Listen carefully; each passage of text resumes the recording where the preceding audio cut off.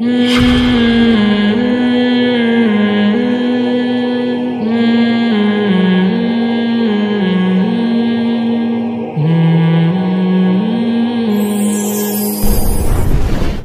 अभी हिंदू का देखा।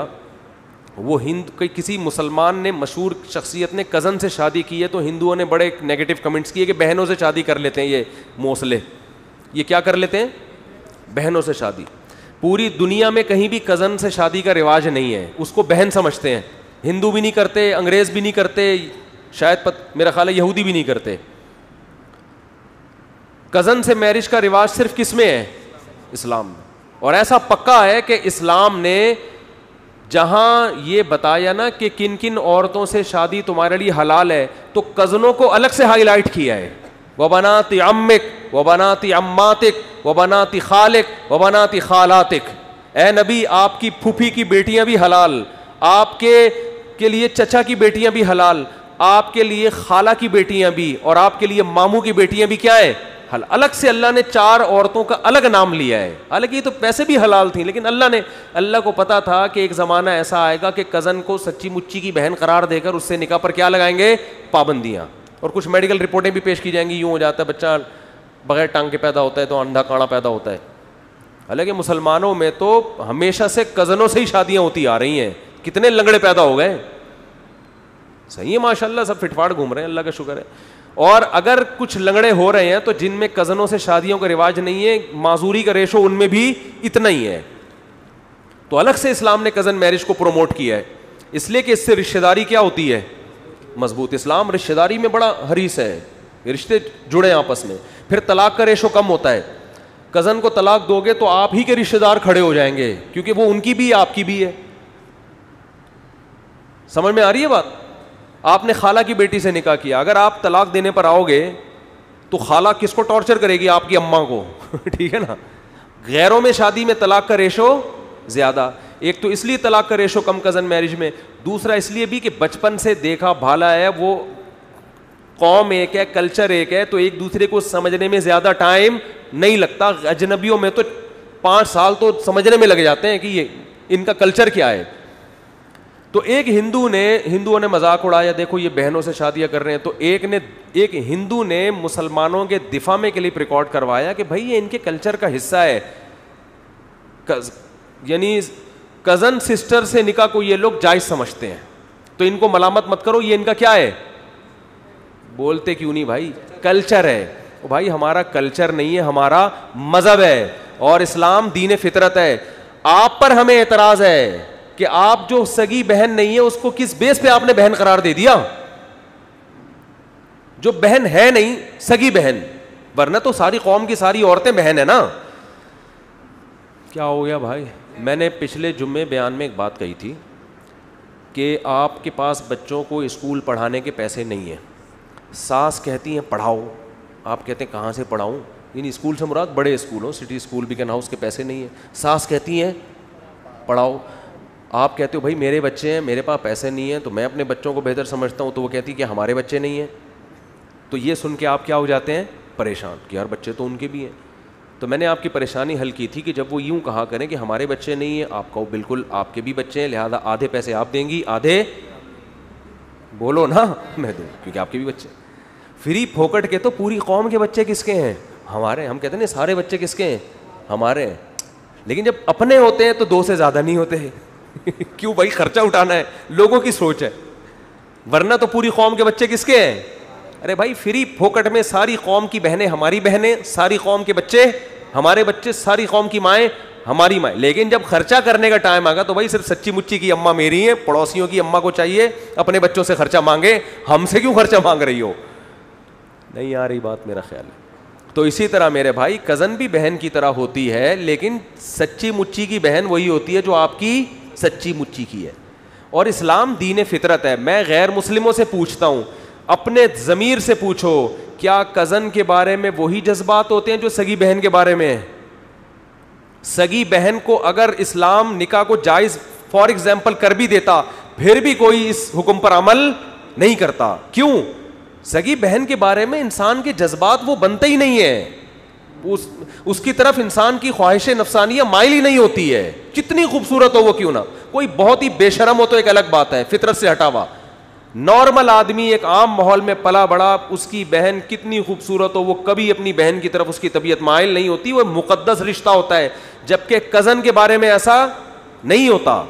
इस्लाम फितरत का दूसरा नाम है। इस्लाम को पता है कि अल्लाह को पता है कि मैंने सगी बहन के बारे में जो भाइयों के जज्बात रखे हैं, वो कज़नों के बारे में नहीं रखे कभी सगी बहन से कभी इश्क नहीं होता। कज़नों से इश्क तो वाकयात की दास्तानें भरी हुई हैं। कितने वाकयात हैं, कज़न पे आशिक हो गया। कज़न कज़न पे सुबह शाम होता रहता है, जबकि बहन पर कोई आशिक नहीं होता। ये अल्लाह, इल्ला ये कि कोई हो ही, हैवानियत, दरिंदगी पर उतर आया हो। तो इस्लाम दीन फितरत है, मैं हिंदुओं से कहता हूँ, ईसाइयों से कहता हूँ, इसी से अंदाज़ा लगा लो। तुम तन्हाई में बैठ के गौर करो, तुम्हें पता लगेगा इस्लाम का हुक्म फितरत के मुताबिक है। और तुमने जो लोगों को हकाम दिए वो फितरत को अपील बोलो, नहीं करते। और आज गैर मुस्लिम इसको आहिस्ता आहिस्ता तस्लीम कर रहे हैं। मुझे कुछ चंद दिन पहले एक अंग्रेज़ औरत ने इस्लाम कबूल किया, उसकी हिस्ट्री मेरे सामने आई। उसने इस्लाम कबूल इसलिए किया, उसने कहा कि इस्लाम में कज़न, फिर उसने रिसर्च की और बताया कि ये इस्लाम ईसाइत ने पाबंदी नहीं लगाई थी कज़न मैरिज पर। बाइबल ने पाबंदी पादरियों का इजाफा है। ये पादरियों ने पाबंदी लगाई थी कज़न मैरिज पर, ताकि ख़ानदानी निज़ाम जिस तरह मज़बूत है, उस तरह मज़बूत ना रहे। तो ये दीन फितरत है भाई इस्लाम। तो ये बात शुरू कहाँ से हुई थी? हाँ तो मैं ये कह रहा था, कज़न ना महरम है। अब आप उसको बहन बना के, वो कज़न आते हैं ना, घर में घुसते चले जाते हैं, घुसते चले जाते हैं, घुसते चले जाते हैं। ओ भाई, तमीज़ से। हमारे घर में भी अल्लाह का शुक्र है, हमारे कज़न आते थे, हमारे वालिद साहब ने एक बैठक रखी हुई थी। वो कज़न भी हमारे शरीफ शरुफा थे खाम खाम में बातें नहीं बनाते थे। वालिद साहब ने कहा बैठ जाओ भाई। ठीक है ना? बैठो यहाँ पे, माशाल्लाह, क्या चाहिए, चाय चाहिए, पान चाहिए गुटका चाहिए, जो भी चाहिए आपको यहाँ मिलेगा। तो कज़न जब आपके घर में आया करें, तमीज़ से उनको बैठक में बिठाएँ, इज़्ज़त दें, इकराम करें, पतली गली से निकाल दें। बोले, जा सकते हो आप यहाँ से। नहीं जा रहा, बोले, दफ़ा हो जाओ यहाँ से। शराफत से नहीं जा रहा। तो अल्लाह का शुक्र है, हम इस माहौल में पले मैं अपनी तारीफ़ें नहीं कर रहा, लेकिन मैं अल्लाह का शुक्र अदा कर रहा हूँ कि जब मैं घरों के हालात लोगों के देखता हूँ, यार किस तरह फ्री हो रहे हैं कज़नों से अलग फ्री हो रहे हैं। बाप को नहीं पता कि यार ये मेरी बेटी से जो मेरा भतीजा इतना फ्री हो रहा है तो पता नहीं इसके दिल साफ़ भी है कि नहीं है। ऊपर ऊपर तो सारे नेक बने हुए होते हैं। अंदर का क्या पता किसी को क्या क्या जज्बात हैं। तो इसलिए एहतियात मैं फिर भी कह रहा हूँ, ये मतलब हरगिज़ नहीं है कि जो कज़न आपसे मिल रहा है वो ठरकी ही होगा, गलती होगा। लेकिन एक की ख़राबी से बचाने के लिए निन्यानवे पर पाबंदी लगानी। तो कज़न भी नामहरम रिश्ता है। हाँ रिश्ता चूँकि बहरहाल है उससे, इसलिए उसका ख्याल करना ये ये शरीयत का तकाजा है। अब बिल्कुल उसको अजनबी औरतों की तरह नहीं कहा जाएगा, जब कज़न की शादी कहीं हो रही है तो आप भी ताउन करें उसके साथ। भाई, मेरी बहनों की तरह है तो इसकी शादी में जहेज़ में मैं भी हिस्सा डालूँगा। सही है ना? तंबू मैं भी लगाऊँगा। अब आपने मेरा बयान सुना कि कज़म नामहरम है तो आपकी खाला का फ़ोन आया कि मेरी बेटी की शादी हो रही है, तंबू तो लगा दे आके कम अज़ कम। तो कह रहे, नामहरम है, नामहरम। तो नामहरम तो है, लेकिन एक करीबी रिश्ता तो है ना, आपकी खाला की बेटी है तो आप उसका रिश्ता तलाश भी कर सकते हो। उसके लिए उसकी शादी में तंबू भी लगा सकते हो, और कुर्सियाँ भी लगा सकते हो, और गिफ्ट भी दे सकते हो। ठीक है ना? कि भाई एक हमारी बहनों की तरह है। तो चलो हमारी तरफ़ से गिफ्ट तो ये तो मुसलमान माशरे में हमेशा से चला आ रहा है। कि सारे कज़न ताउन करते हैं, भाई, हमारी चचा की बेटी है तो हम ताउन करेंगे। लेकिन इतना फ्री होने की ज़रूरत नहीं है कि शरी हदूद से बाहर निकल जाओ। बिल्कुल जैसे अपनी बहनों के साथ बैठ के सफ़र करते हो, अकेले में जाते हो, घूमते हो, फिरते हो, बर्गर खाते हो, ऐसे ही कज़न के साथ भी क्या कर रहे हो? घूम रहे हो एक साहब ने मुझे बताया वाक़ात बहुत हैं हमारे पास, सच्ची मुच्ची के। एक साहब ने मुझे बताया कि मेरी वाइफ का कज़न आ रहा था। मेरी वाइफ ये लिबरल लोगों के बड़े मसाइल हैं। हमारा तो भाई दीनदारों का, जो दीन की तरफ़ मंसूब हैं, एक ही उसूल है, भाई पर्दा सबसे करना है। अब ये बहस ही ख़त्म कि कौन अच्छा है, कौन बुरा है सबसे करना है। समझ रहे हो ना? तो सबसे पर्दा करना है। तो अब क्या है? वो एक साहब ने मुझे बताया कि मेरी कज़न सॉरी मेरी वाइफ का कज़न आ रहा था। कहीं पंजाब से आ रहा होगा। तो मेरी वाइफ ने कहा, मेरा कज़न आ रहा है कुछ दिन रहने के लिए। अब जवान कज़न है कहते हैं, मैंने कहा, ठीक है, कह रही, मेरे भाइयों की तरह है, ठीक है, भाई, आ जाओ। कह रहे हैं, जिस दिन कज़न वापस जा रहा है, मेरी वाइफ फूट फूट के रो रही है। मेरी वाइफ फूट फूट के रो रही, मैंने कहा, यार, इतना तो सगे भाई के जाने से, इस ज़माने में तो बाप के मरने से नहीं कोई रो रहा होता ऐसे।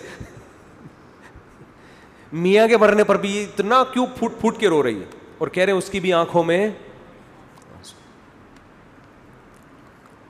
कह रहे, मैंने कहा, यह कुछ थोड़ी सी ज़्यादा हो गई है मोहब्बत। कह रहे, बहरहाल, ये इतने ब्रॉड माइंडेड कि बेगम ने कहा, शक करते हो क्या? मेरे भाइयों जैसा है। ठीक है भाई, भाइयों जैसा होगा। ये भी तो मखनचू। अल्लाह के बंदे उसको बोलता, भाइयों जैसा है, नहीं है, मैं शक नहीं कर रहा। लेकिन बेगम, अब मोबाइल पे बात करने की इजाज़त, बस आ गए ना, रह के चले गए, बहुत हो गया बस ठीक अब सारा सारा दिन मोबाइल पे लगे हुए भाई से बात हो रही। ये बंदा मुझे खुद अपने वाक़ सुना रहा है, गीबत इसलिए नहीं किसी को क्या पता किसकी बात हो रही है। और ये किस्सा भी काफ़ी दस साल पुराना हो चुका है, दस साल। तो वो इतने फिरी बहरहाल एक बड़ी मजाब में वो बंदा मुबतला हुआ इश्क ऐसा ख़तरनाक इश्क हुआ है ना आपस में कि यहाँ तक नौबत आ गई, मुझे तलाक दो, मैं उससे शादी कर रही हूँ जाके। और कज़न कह रहा है, मैं शादी वादी नहीं करूँगा। ठीक है ना? वो भी बस चस्के ले रहा है।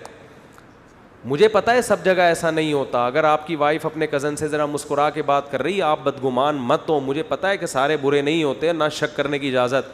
लेकिन भाई, ये इस्लाम की पाबंदियों पर जब अमल नहीं करोगे तो इन चीज़ों का ख़तरा मौजूद रहेगा और आज ज़माना जितना ख़राब है, कल उससे ज़्यादा होगा, परसों उससे ज़्यादा हो तो रिज़र्व रहो इस्लाम में यही है कि जिसकी शादी हुई है, बीवी सिर्फ़ उसी की है। मियाँ बीवी आपस में फ्री हों, बीवी ना देवर से फ्री होगी, ना जेठ से फ्री होगी। तो अमल करोगे कि नहीं करोगे इस पर? अमल करो, अपने बेगम को पर्दा कराया करो, मेरे भाई ज़्यादा फ्री होने की ज़रूरत नहीं है।